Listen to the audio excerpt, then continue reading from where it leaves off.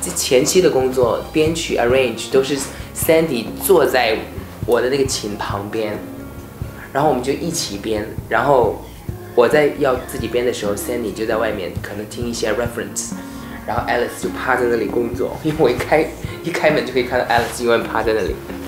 然后过一两个小时，我就说，哎，Sandy come in，然后听一下。然后我 very 我觉得我很幸运的就是，我做的百分之九十的东西都是 Sandy 喜欢。嗯，of course，真的这是很幸运的地方，这是我觉得这是缘分吧，我没有办法去解释。可能有的东西别人的也挺好，但是 Sandy 不一定喜欢。但是我我就觉得我很幸运哦。